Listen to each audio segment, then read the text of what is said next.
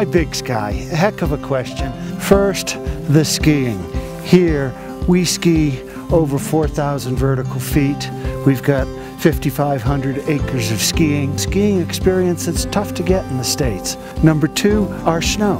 We're on the eastern side of the Continental Divide. We get the same nice dry powder that Snowbird, Alta, Jackson, Grand Targhee get. And we get plenty of it. We average 400 inches a year.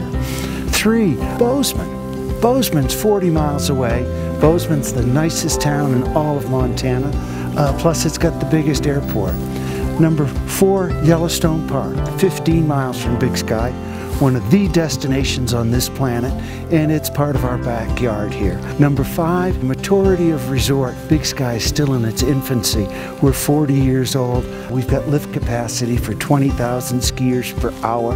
We don't yet have 7,500 people ever at the ski area on one day.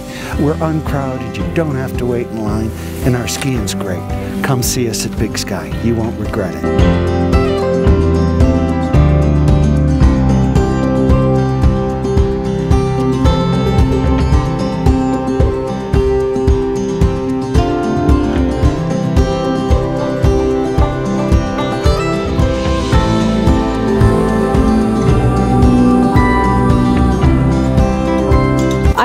Love with Big Sky in the summer 22 years ago on my first trip.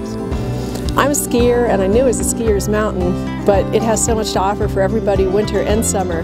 But winter time, look at this, sunny, dry powder.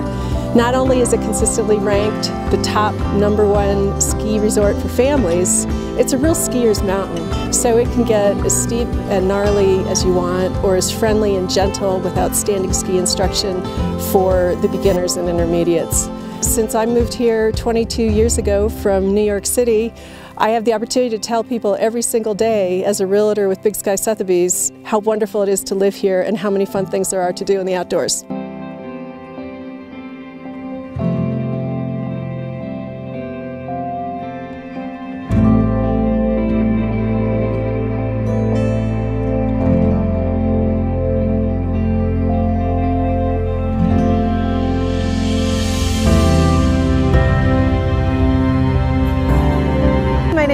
Gilly and I love to live in Montana. There's so much outdoor recreational opportunity within the Big Sky area.